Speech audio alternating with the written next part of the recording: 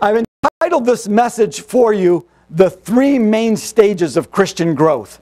The three main stages of Christian growth.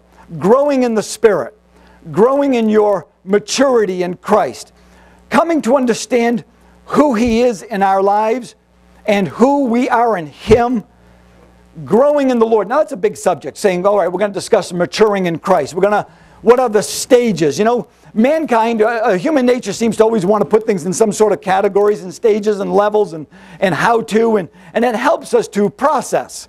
That's why we have uh, quote unquote systematic theology. We take theology and put it into categories. We systematize it in order to help us to better understand the things of God and the things of life. Well, the three main stages of Christian growth, I believe, can be summarized very, very easily. And you can help, you can allow this message to, uh, to uh, find out where you're at in the Lord and in a variety of different settings because sometimes we are maturing in one area but not maturing in another. Sometimes we're growing in one area but we're not growing in another. Sometimes we're giving up something for the Lord in one area but we're not in another area.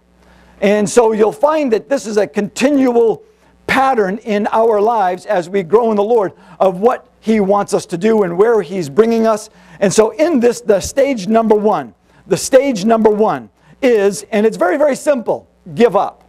Stage number one, give up. That's the number one stage, give up. When you think about it, we're trained, we're trained as you're training to never give up. So true? That stand your ground. And, and matter of fact, I preach it on a regular basis. True? Don't give up. Stand your ground. Stand fast in the, but it's stand fast in the faith. It's surrender unto God. It's not an issue of just being a quitter. Oh, good, good. Stage number one, I'm a quitter. That's what I, all right, I'm, I've already passed that. No, it's not imagine of, it's not an, a, a, a message of uh, we're all going to be quitters. It's that you surrender to who or to what? Everybody in this room is surrendering yourself to somebody or something. You can't escape that. Many people are surrendering their daily lives to the alcoholic bottle. They surrender every day, get up, and their will finds themselves at the end of a bottle. They surrender to it. Some surrender to wrath, that uh, they get sick of life and they just finally just surrender themselves to it and just have an outburst of wrath. And, and there's a certain pleasure in that. And others will surrender themselves uh, to, uh, to the pleasures that this world has to offer or the, or the endeavors and ambitions that are here. There's a variety of things that, that are calling for you to surrender your attention, to surrender your affections, to surrender your appetites, to surrender your personhood, to surrender your desires, to surrender who you are to it. That we're called to surrender. As a matter of fact, when, when you're looking at any type of uh, uh, uh, law situation or any type of criminal situation, and the police finally come to and get their man, what's the first thing that they're called to do? What's that first thing they're after? Give up. First thing, give up. That's the very first thing. Now, giving up or surrendering is another word for it. Give up is basically I surrender. You're placing yourself into the authority of another. You're placing yourself under the hands, the authority measure of another. Authority is a very real part of Christian, matur Christian maturity because you'll find that in you, in your flesh, in your human nature, you want to be in charge. In this, God Almighty is calling for us to surrender, just as Christ surrendered. We're called to surrender to the things of God, to surrender to His Word, to surrender to His holiness. But I want it like my way. Well, and you have a hostage situation. What does the criminal want to do? he starts going through various terms. I want to, well, I'm going to surrender if I, if you, and they're going through a variety of terms that before I surrender, I'm going to go through. But God, it's an unconditional surrender. Does that make sense? Christian maturity begins, the very first place to begin always is with an absolute, unconditional, 100% surrender to the things of God. You place yourself into the authority of another. You place yourself under the authority of another, a sovereign control who's greater than you. Now, think of it. Please think of this now. Is that if you surrender to God, you will never have to surrender again. If you surrender to God, you will never have to surrender ever again. If you, if you surrender fully and wholly to God's Spirit, fully and wholly to the Word of the Lord, if you are in full surrender, you can now live a victorious life. Now, victory and surrender don't seem to go together. If you fully surrender to God, you can now live a victorious life. And if you are in a realm of surrendering to anything else other than God, then you have surrendered to something that's weaker than God. Then you have surrendered yourself to weakness, not strength. You've surrendered yourself to defeat, not victory. If we have fully surrendered to God, if we have fully surrendered to His Spirit, then we are operating our lives now in a realm and a sphere and a stage of victory. No longer are we in the stage of weakness. Many people have often said that they're a free spirit and that they just enjoy life, and I don't want to give up my fun without the realization that you're in bondage. That person's in bondage. The absolute key to life is to fully surrender to God Almighty. In that is where a person gains great victory. Anything other than God, anything less than God, which is how much? Or anyone? Is there anything anything greater than God, anything that's more powerful than God, anything that He's the sovereign ruler of all things, if you surrender to Him, then you have total victory over everything else that is weaker than Him. You never have to surrender ever again. Just have to live a constant life of, I surrender my will to you. I surrender my ambitions to you. I surrender my appetites to you. I surrender this body to you. I surrender to you, Lord, my hopes, my dreams. You're the center. Jesus, be all in me. Jesus, let Jesus be in me. No longer me, Lord, but thee. Resurrection power, fill me this hour. Jesus, be Jesus in me. But if we're not operating in the surrender unto the Lord, then somebody and something else is in charge, and usually that's you. And if you want to mess things up, keep calling the shots. Jesus is the absolute key. Now, people don't want to surrender, they want to keep doing it their way. Uh, you know, the old saying of do as much as you can until you can't do one more thing, then God takes over.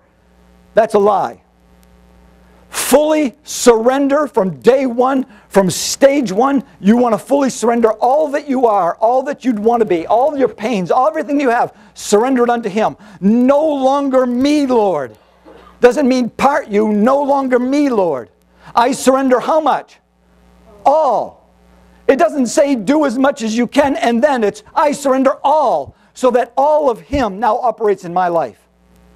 In that you have full victory. I am in a surrender stage. I'm in the I'm in the caught stage. Uh, I've been caught. I'm uh, when a person's caught, they're in a situation where they they don't know where else to turn. Do you ever see like an animal caught in a corner that it it doesn't know where else to turn? It starts bumping into the walls, hoping for a hole. It starts trying to scurry around. It's, it's looking for a way out. It's caught. You see the criminal, whereas all of a sudden they're, they're caught, they're surrounded, authority has come, law is over them, calling for justice, they're caught. Oftentimes I see people caught in this stage of, of Christian development, whereas they, they don't know where else to go, they don't know what else to do. They're, they feel so squeezed. The Holy Spirit is just, just squeezing them. The, the, the Christianity, the Word of God, the truth is just keeps squeezing them in there. And they, but they haven't surrendered yet. They're still in the process of, I, I can't bring myself to surrender yet. They're still in the realm of trying to hold on and they don't understand what's going on in my life. Have you ever been through that? If you haven't been through that, then have you surrendered? Have you been through that? That you've, that you've come to a point that you had to surrender. I remember that in my life. I remember it oftentimes in my life of surrendering, certain aspects of who I am or difficulties or who I thought I was. One of the greatest things that I had to surrender to the Lord was my perception of who I was. The perception of who I thought I was. I had to surrender. Listen to me now. You have to surrender the perception of who you think you are that you think you're greater than this, you're able to do that. I've seen pride operate in people to the greatest levels that have nothing to be prideful of. And yet they're full of pride. In this, we must be in that realm. The very first stage is bringing a person to the point where I have decided to surrender. But most people haven't felt the squeeze of life yet. They haven't felt that caught feeling yet, where there's they still have other alternatives, other ways of thinking, other ways of doing things. Gee, I'm still at least I go to church and at least I'm a decent feller. And gee, I was comparing myself to this person and that person, and I'm not like them, so I'm pretty decent. They haven't yet come to that realm where they're caught where they actually feel they've been arrested by God. You're now in his hands. You're now in his cuffs. You're now in that you've been that you're in a realm where you've been caught, you've been arrested, and you're now under his authority. Most people, many people that you talk with, haven't reached that point where they've actually surrendered.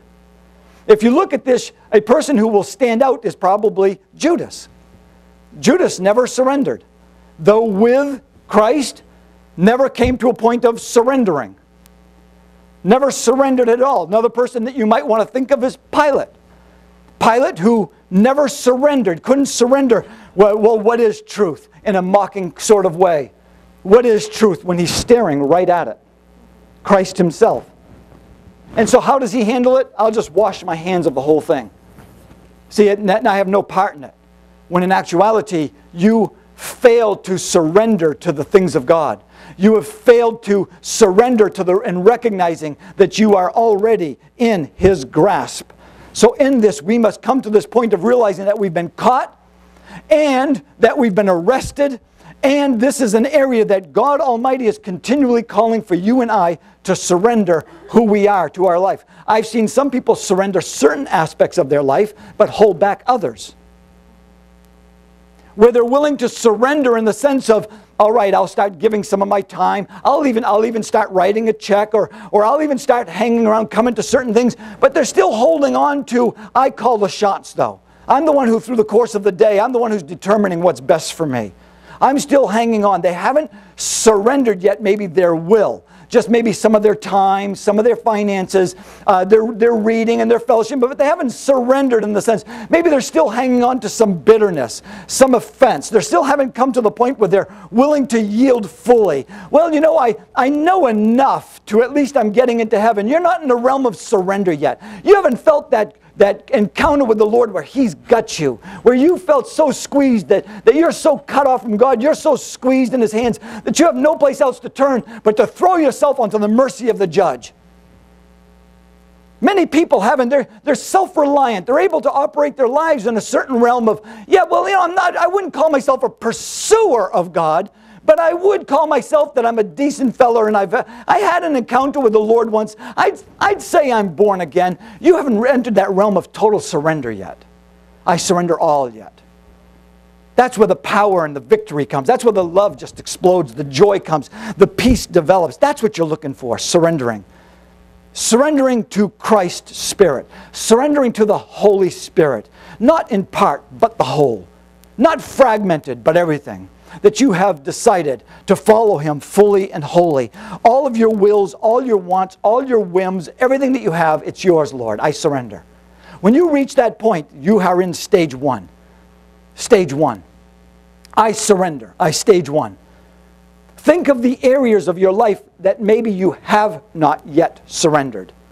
Think of the areas in your life that even in dealing with people, you're ministering to them, and you'll find that they're not willing to surrender. You want to have a tough time trying to lead someone to the Lord, it's someone who's not ready to surrender. That they're still kind of just kind of tough in the heart, tough in the mind, tough in the spirit, still hanging on to. Still, well, you know, I, I don't know if it needs to be that way. Can it be this way instead? No. No, it's not. But yet, well, it seems to me that it could just, it's, it's a little harsh, a little too absolute for me. Seems to me it can be a little bit more relative to my situation. Boy, are you a deceived person. Since when is it all about you? Never. It's always been all about Him.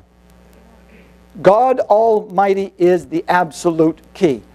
I've heard pastors getting up on TV and in services, coming up and saying, Now, Lord, we give you permission for the, to be in this service. What? What? We give you permission to be in this service? He's giving you permission to be in the service.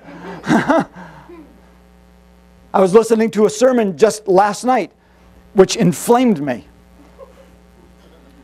And I see those on a regular basis, and I'm watching TV and, uh, and I'm watching this preacher, and, and all of a sudden he just starts talking in such manner, in that, uh, uh, that uh, uh, we're gonna we're gonna release you. We're gonna give our give your that's what it is. We'll give your donation today, and and uh, and authorize God to release His blessing to you. Since when do we authorize Him? He authorizes you. So that'd be like me saying, I think I'm going to anoint the Holy Spirit today. Lord, I'm going to anoint you today to be in this service. Boy, is that an arrogance? He's the anointer. He's the authorizer. He's the permission granter. He's the graceful one. We're the recipients of everything. He's everything. We're nothing until He touches our souls, our life, and enlivens us and quickens us. Then we become something in Jesus. He's the center. And so many people are sitting like, and, and, and well, I don't know. I, I like it. And they're sitting and they're holding on to and they're not willing to surrender to the things of God. The Pharisees wouldn't surrender to Christ. The Pharisees, who were always around and ready to test and ready to judge and ready to critique, and I don't know if it should be that way, and it should be, and they're always trying to hold on to their place, and they weren't willing to surrender. And when a person has a Pharisee spirit, when a person has an aspect in their life, well, gee, I'm not a Pharisee. I wouldn't say I'm like that. But maybe there's an aspect of your life that you're hanging on that's like that that's not willing to yield fully and wholly to and is always holding things in his courtroom of judgment, always holding things under the critical eye, always looking for error rather than truth. You want to find someone who's operating in error? It's somebody who's always looking for error rather than looking for truth. People who, who are always looking at church and people, always with a wary eye, not willing to surrender, always looking at the Bible, looking for fault rather than looking for truth. This is stage one. Yielding to stage one is surrender, is give up, is I'm caught, it's I'm arrested, it's I'm yours, I'm in your hands. Stage two, just because a person now is surrendered, just because a person has given up, the next step is what? Give in. Give in. The next step is give in. A person can be arrested, brought to the jailhouse, now being interrogated, but it doesn't mean that they're ready to comply. It doesn't mean they're ready to submit. I've seen even in my own kids, all right, surrender. They're giving up their will. All right, I'm gonna, I'm going to, to, I've realized I can't change the situation. But in their heart, they're still hanging on to McDonald's, not Wendy's. There's a, I'm, I'm holding my ground. There's a, there's, a, there's a stiffness in the soul. There's a stiffness in the spirit of, all right, I'll do what you said, but I'm not doing it because I like it, but it's because I'm under your authority and it's better if I do it. But there's not a, a willingness to submit. It's the whole submission issue. That word that, we, that is constantly throughout Scripture, but everyone would rather have it cut out. It's the giving in to. It's the will is dominating where you realize that it's better for you to comply than it is for you to continually buck against it. It's a call to comply. It's a call to I allow this in my life. I'm allow I'm yielding to it. I'm letting it happen. I want God in my life. If you get to stage 2, you'll realize that that's where victory and freedom and joy start bubbling up. Where all of a sudden you realize saying, wait a minute, I don't have to carry this burden. I don't have to carry this offense. You mean I'm free from that bitterness? You mean if I yield to His joy, I'm free from depression? Yeah. You mean if I yield to His peace? Boy, I'd have peace if that person was to stop treating me that way. if this person would stop calling me, if this person was, I'd have peace. Peace isn't that way. Peace is within. Peace is that regardless of these situations, your peace is not robbed. When a person starts submitting to the holiness of God, and they realize that I'm no longer subject to these worldly things. I'm no longer subject to the bondage of these pleasures. When I start submitting to, well, you can't submit. Now listen, you can't submit beyond the level of your surrender. Listen now, you cannot submit beyond the capacity that you've surrendered. Can't do it. Your submission will not go any deeper than the capacity that you are willing to surrender. A person is called to give in. I, you'll find that when you're talking with me on a regular basis, I'm urging you, I'm encouraging you, I'm calling for you to continue to give in to the Holy Spirit because that's where the power is. That's where the that's where the presence is. That's where the boldness is. That's where the confidence is. That's where the calmness of spirit is. That's where the anointing is. That's when we're called to not my will lord but yours. I'm yielding to it. I'm complying with it. I'm allowing this to happen in my life. I'm letting go and i want you in my life. I'm praying and calling for the spirit of grace to come into my life and to empower me. I don't want to be like like Herod Agrippa, who heard the word of the Lord and wasn't willing to surrender to the things of God, therefore could never submit to the word of God, therefore walked out in the same deception that he walked in with. I don't want that, Lord. I want to surrender to you, Lord. I want to surrender and I want to submit, meaning I want to comply with your holiness. I want to comply with and allow your spirit to change my life. When a person reaches this area, they're level number two they're giving in. If you haven't come, if submission is still kind of like down the line for you, you're in the surrender stage. The surrender. I surrender. I give up. But the giving in stage, you'll find that that's where your real battle is. The giving in stage. Whereas, why do I even have to be dealing with this stage? Why, why can't I kind of go back to the way it used to be? The Hebrews in the wilderness used to do that. Can't we go back to Egypt where we ate vegetables? We were on the taskmaster's hands, but at least we ate good. That's that battle of they haven't surrendered in their heart. They still have unbelief. Submission can only go to the level that a person has surrendered. But the submission level is where you and I and everyone needs to be and will continually call for. And you'll find there's certain aspects in your life that you'll submit in one area, but you won't submit in another. You'll submit maybe where it's easy to submit, but you're not willing to submit those harder areas. I find people regularly are struggling in that area of submission, coming into alignment with the things of God. You know who this will remind you of? Who knows the story of Samson? I would say almost everybody in this room. Anybody know the story of Samson? Right? Story of Samson. Samson surrendered. He was a judge and he surrendered. But who failed to submit? Who failed to comply? Who failed to walk in the authority, the power, and the freedom of God's Spirit? Samson.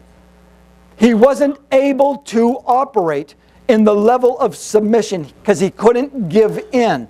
He kept giving into that which was not the Spirit. He kept giving in. Remember, his eye wandered over to Delilah. Delilah. The minute he was wandering over, he was only able to submit to the level he was willing to surrender. He didn't surrender here, he surrendered here instead. He submitted to and placed himself under the authority of another. Placed himself under the authority of another who had no good thoughts for him. We are surrender machines. We are submission machines. We are always giving up and we are always giving in. What you give up to and what you give into determines your authority. The Bible tells us that do you not know that what you yield to, what you serve, becomes your master? So, why not have God, and there's nothing greater than God, the Spirit of the living God, be your master? How does that happen? Submit, give in fully and wholly to Him and he is now the one who will set you free, fully and wholly.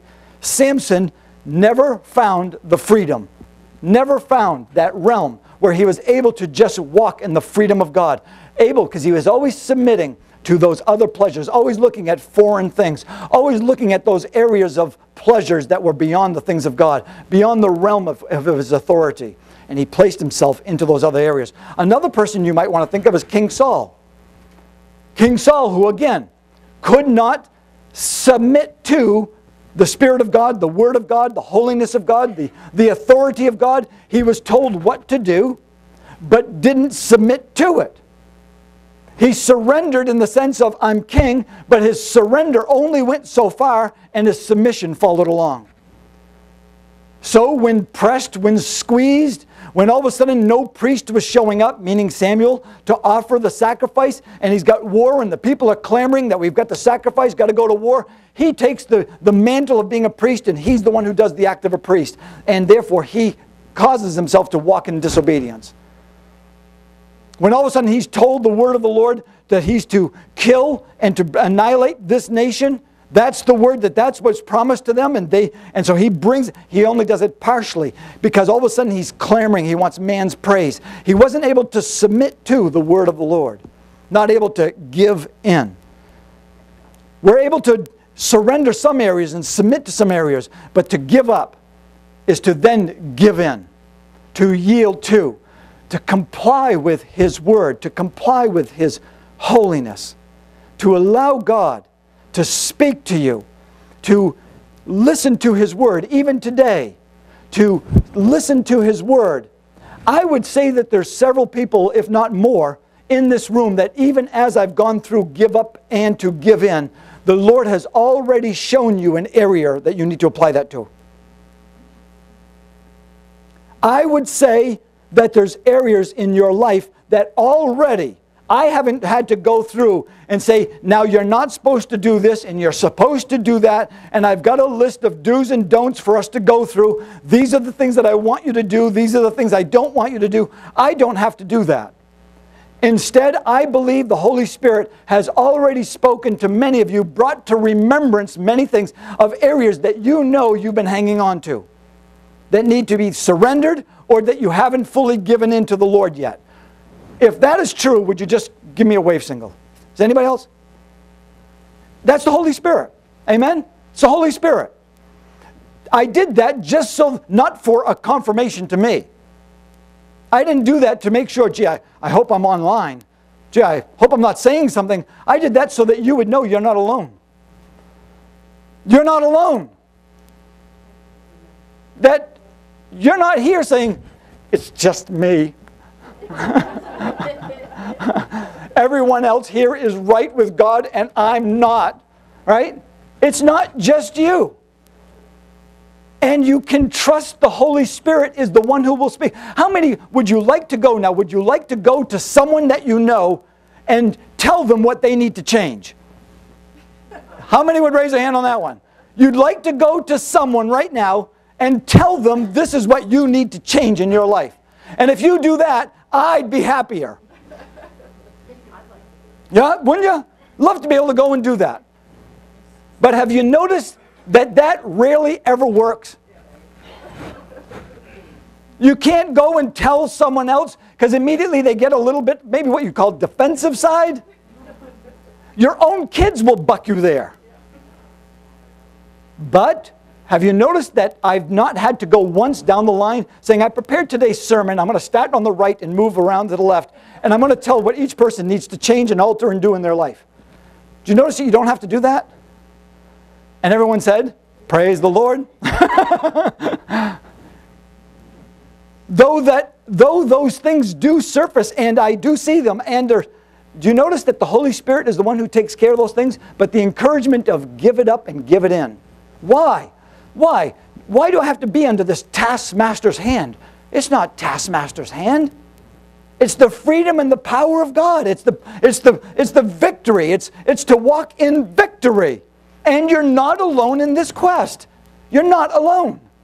There's everyone else in this room and many others who are not in this room who are dealing with that same area, who they're in the giving up stage or they're in the giving in stage. And here's the third step I got to give too. The give to stage. I'm going to give it up, I'm going to give in, and here's the tough one give to. That's the third level. Give to. Will you notice when you're talking with people, or even when you're praying and you're analyzing yourself, oh, don't you hate that? When, you, when I say analyze yourself, is that you've submitted to the Spirit and allow Him to analyze you. That's true analyzing. In the give to stage, that's the quote unquote serve stage. And when you're in the serve stage, that means it's no longer about you. I'm now serving. I'm now pouring out stage. I'm in the Paul stage.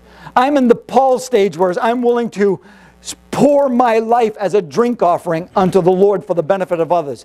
This is that I've decided to love others as I love myself. I've decided to move forward and allow God's Spirit to think of what others may need. This is the serve stage, the give to stage.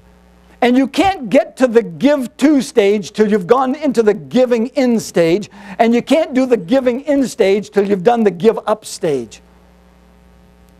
It's important to be a giver.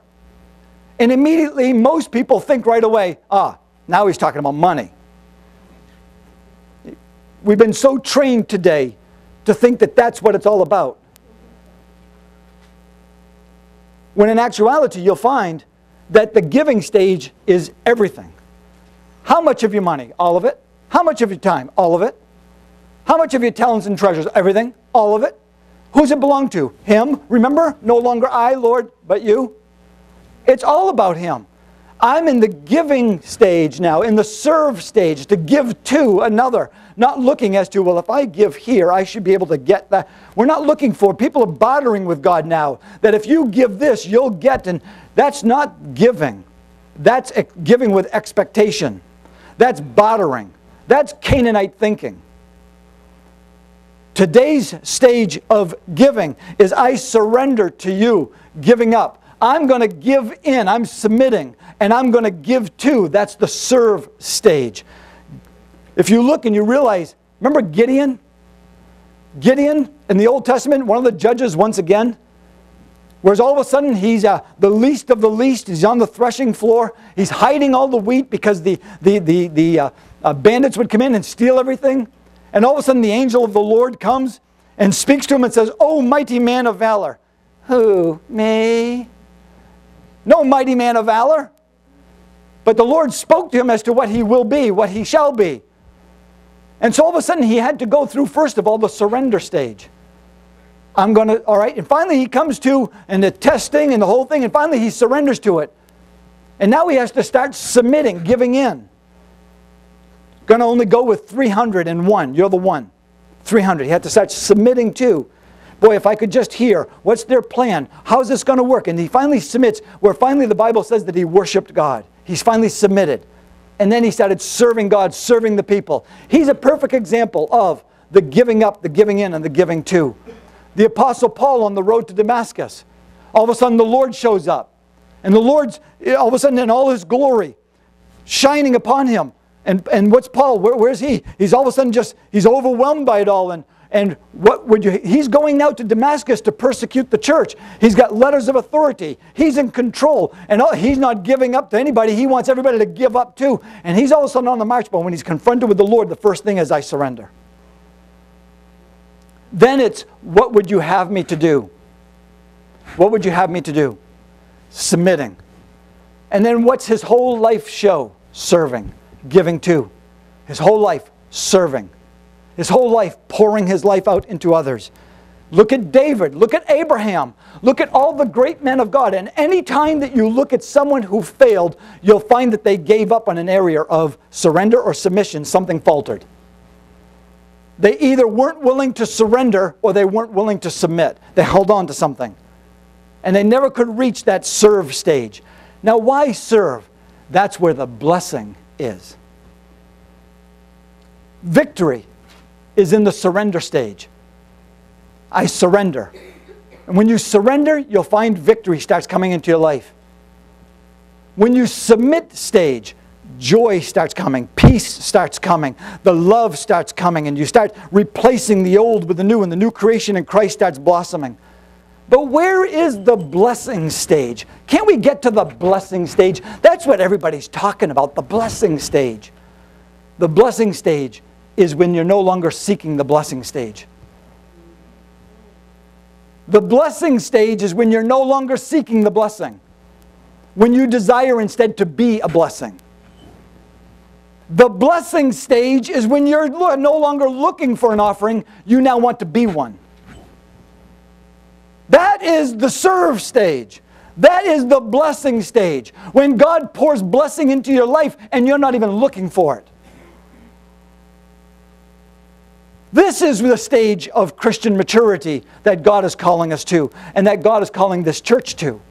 The blessing stage.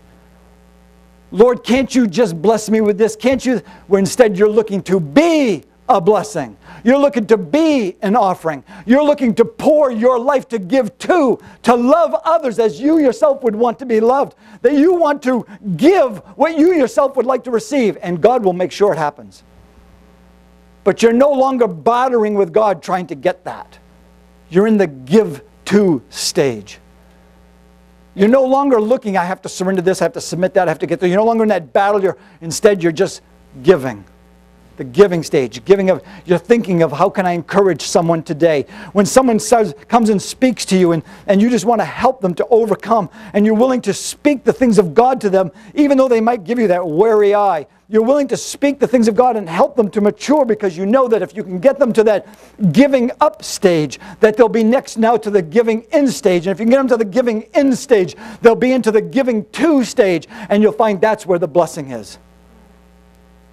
How many times I call people and encourage them to come to church or to seek the Lord or to pray or to read their Bibles or to give them a verse and say, memorize this verse. This is a good verse for you. Why don't you memorize that? Not willing to do it. Don't do it. Gee, why does this have to keep going in my life? Why am I still struggling with this? Why can't this? Why can't God just do it? And how many times I've told people is that, have you done your devotions today? Have you served the Lord today? Have you called anybody? Why doesn't anybody love me? Who did you love this past week? Why doesn't anybody call me?